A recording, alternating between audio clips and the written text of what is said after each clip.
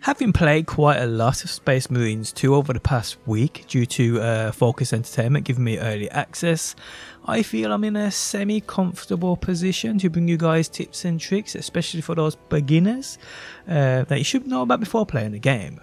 How's it going guys? My name is DPJ. Now again, thanks to Focus Entertainment, I'm actually giving away a copy of the Ultra Edition version of Space Marine 2.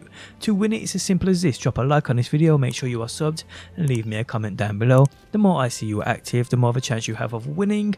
I'll pick one winner from the comments section and announce them on tomorrow's video, so good luck everybody.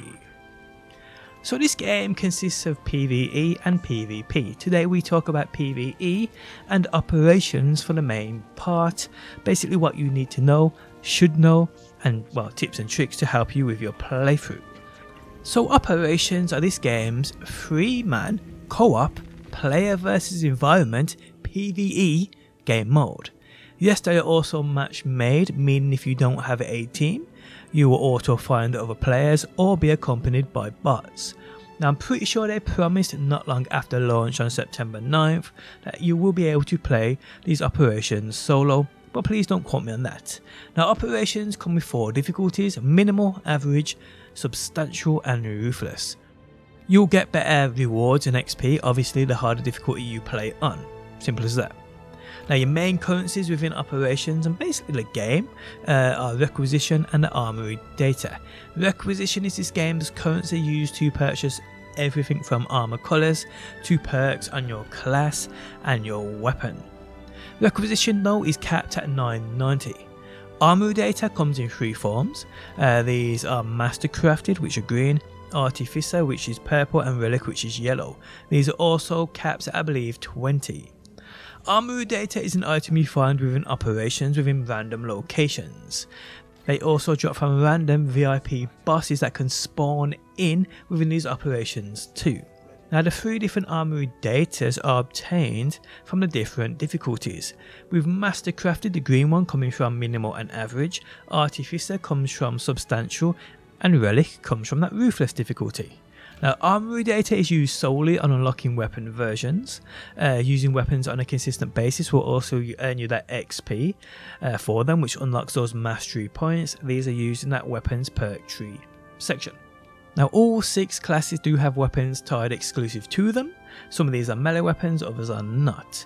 Now, you do get weapons that are available on multiple classes. This is great because it means if you level them up on one class, whatever you unlocked is available on the other class that has access to this weapon. So requisition and armory data are very very important.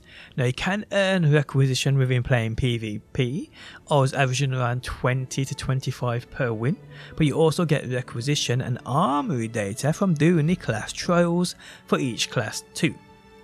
Now back to operations though, and a few tips to help you out here. Obviously, you will start off on that minimal difficulty and work your way up through leveling and progressing classes, and hopefully, some of these tips can help you out.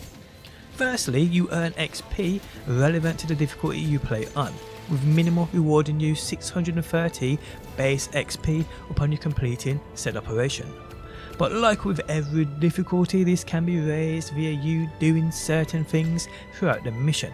And at the end of these missions, uh, there is a list of categories where you can earn extra XP for doing the best in them. But there are also things hidden within these operations which you should take note of and try and find. Firstly, the gene seeds. These are basically XP relics. These are items you can find within operations which reward you and your whole team upon you completing the operation with it extra XP. But there's a catch to these. They do go within that Guardian Relic slot. Guardian Relics we'll talk about in a quick second because there's a few things you can use these for. Uh, extremely beneficial, especially in the harder difficulties you uh, play on. But yes, these uh, gene seeds go in that Guardian rank slot, meaning you can't obviously carry a Guardian rank with you. But there's also another catch with this. Whoever in your team or your squad picked up this gene seed, if you go down while holding it, you lose it forever. It's gone. So whoever picks this up needs to be certain they can survive. Probably treat them like a VIP, I'm not even joking. But yes, whoever picks up, make sure they can survive. Now you can swap it out for a Guardian Relic if you find one, which means it can be swapped with other players. Uh, a tip you could use on those harder difficulties, uh, if you come across a Guardian Relic on the floor, you can always swap this item out for it and then come back to the gene seed up after the section is completed or that mission is done and you're about to extract from it. Grab that gene seed wherever you left it and then simply finish the mission with it. As long as it's carried to the end, your whole team will gain the extra XP. Also within operations there are a few other things you do want to take note of. Are those green boxes which when you destroy can drop you vital items like ammo caches, uh, med stims, armor and so forth. Hidden through these operations are, like I mentioned earlier, those Guardian relics. Now, these are basically used to allow you to self-res, so if you go down, you can res yourself back up. Now, a tip for these are, if you go down for the first time, uh, it doesn't apply that mortal wound to you. So here guys, I wouldn't bother using your Guardian Relic and hopefully wait for a teammate to revive you. I say this because you can use the Guardian Relic when you go down and have a mortal wound to heal yourself of the status and then you can go down another two times before you get that mortal wound back. Very very good tip for those playing those harder difficulties. Also by the way, the stim kits can remove the mortal wounds too. This is done by overhealing with those med kits, simple as that. So another thing to keep in mind. Now you know you have the mortal wound uh, effect because you see that skull next to your health bar. So yeah. Now when you have that mortal wound, what it means is the next time you go down, you are removed from the fight and you'll wait a timer. If you do this while playing with bots in these operations, the mission is over. Another thing is to note is your health bar. So you will notice that when you take damage, your health drops, obviously, the red part of it drops anyway, but looking at your health bar, you'll see that there's also a trailing white bar with it. This white bar can be refilled by you dealing damage. This is great when you're meleeing your way out of a ton of enemies tearing the paint off your armor, so do keep that in mind. A couple of other tips within these operations, you can find those data slates if you're into that lore. But also people, there are traps too which you should be taking advantage of. From barrels which do amazing damage, to plasma containers which basically do the same thing, to actual traps that you can actually activate on the map and with good timing guys these can be very very helpful. Also, loadout terminals. These are great for obviously swapping those loadouts in and out when you come across them, but also at the same time, if you select the same loadout you're already using, it will refill that ammo. Okay, so now on to combat and a few tips here, especially for that melee combat, as weapons themselves in regards to ones that shoot, those bullets and projectiles are really self-explanatory. But with melee though, there's a bit more to it. So melee weapons have unique combos, and you can see these guys by pressing start. Now the sword represents a light attack here, and the broken shield represents a heavy attack. Now you do your light attacks by simply just pressing that melee button. Holding the melee button will do you a heavy attack, so keep that in mind. Now also looking at those melee weapons, you can see the defense stat here. This is a very very important stat, which you may need to take note of. Now chainsword within the melee weapons I've seen I believe is the most balanced, uh, but you can see here when you hover above the defense stat then it states fencing, uh, it states block and it also states balanced. Now, fencing increases that perfect parry window, which is great obviously. Block means there's no perfect parry window at all, but you obviously get much, much better blocking. And balanced has a moderate parry window. Uh, basically sits in the middle of the two in regards to blocking and that parry. So that's a good stat to actually take note of, especially if you're on a melee well, I say melee class, all classes in the game do have weapons to fire, but things like the bulwark, especially, this is definitely something you should probably invest time in, in regards to if you do plan going for a melee build. So yeah, keep that in mind. Also learn and make use of these combos as each melee weapon is vastly different. With some like the combat knife which is great against a solo enemy, but when it comes against a crowd of them, it's much much weaker, yet the hammer and swords are incredible in with dealing with multiple enemies while surrounded, so yes, pick your weapon wisely people. Yes, I know some, some classes like the sniper class, my class, we don't have that option, but hey, some do. Another very important mechanic in this game is parry and dodge. The parry and dodge system in this game is super super important for your survival. So you will see those bigger enemies with those indicators when they're coming towards you.